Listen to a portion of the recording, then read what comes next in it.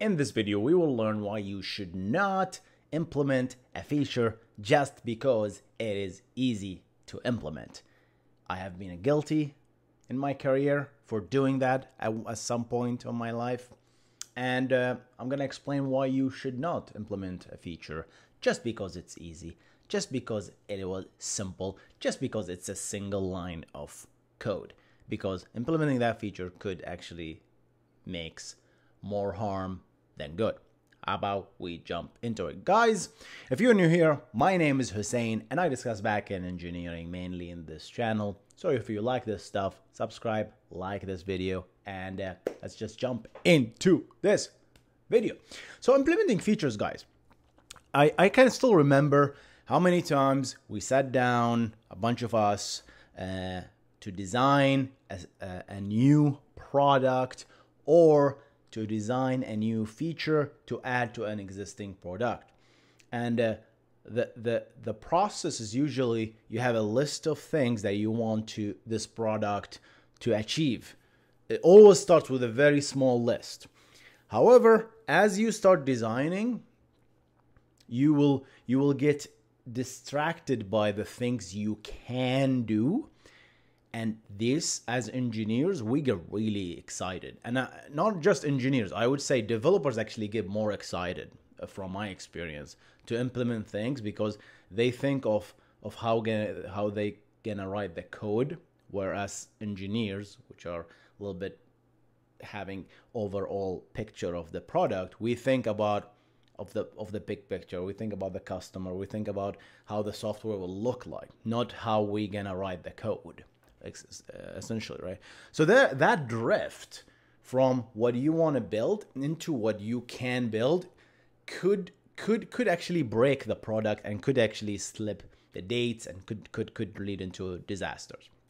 All right, let me give you an example where adding you, you want to implement a single feature and to do that you're going to add a single parameter however as easy as it sounds to add a REST API new parameter to the JSON uh, object or, or to the post request or adding a new method. That sounds very, very simple. Oh, just add that. However, if you really think about the whole story, what does that parameter mean to the existing parameter? The story changes. It's like, wow, okay, what happened if I pass in this parameter and this parameter at the same time? What happened if I don't pass it? What's the optional value? What's the default value? You, you have so much questions that you are obliged to ask. And that it's not just adding a parameter, the act of enabling that parameter in the API on the backend or adding that extra column on your database uh, table or or adding an index is not that. We're talking about the user experience and by user here are our users as backend mainly are front end engineers or front end developers, right? That's that's how, how our, our users are, right? Because they are using they're consuming our API from the backend. So so adding that single parameter, first of all, is expensive. Don't just think about just that line of code.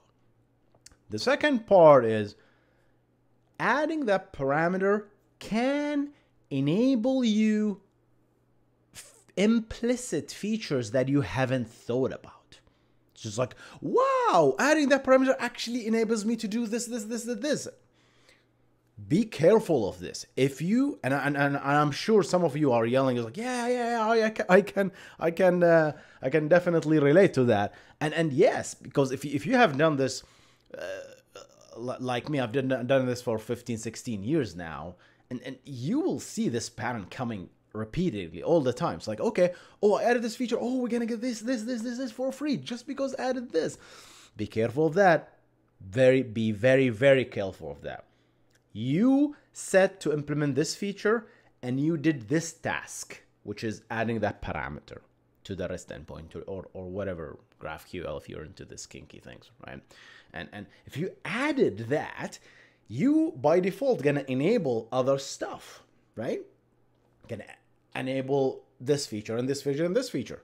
be very careful because do you, first of all, want to enable these features to the users? This is what you want to do. This was, you sat down and spent a lot of time to come up with this requirement to add this feature. Now, all of a sudden, you just added a bunch of other features that the user did not ask for. Forget about the user. The, the, the, the, the owner of the product did not ask for who talked to the user, obviously, who talked to the customers, right? And, and so this is the first thing. Do the users actually need that? If not, and you don't envision even using them, disable them.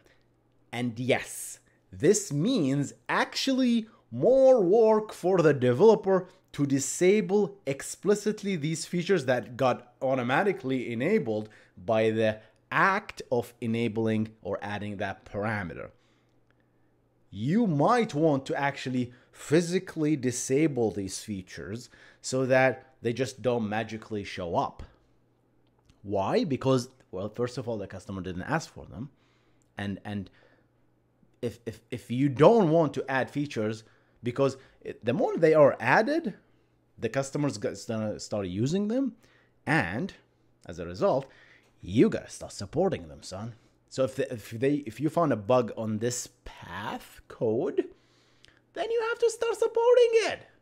Do you really want to support something that you didn't even envision to to support? That's what you want to avoid.